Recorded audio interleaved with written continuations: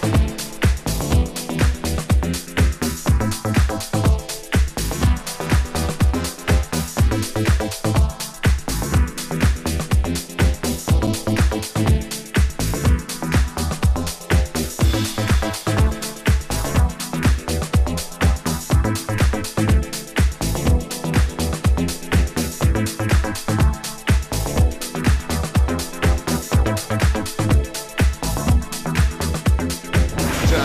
true. Pioneers of house music died while housing at one of his popular nightclubs. His death is being mourned all over, and it's truly a sad day.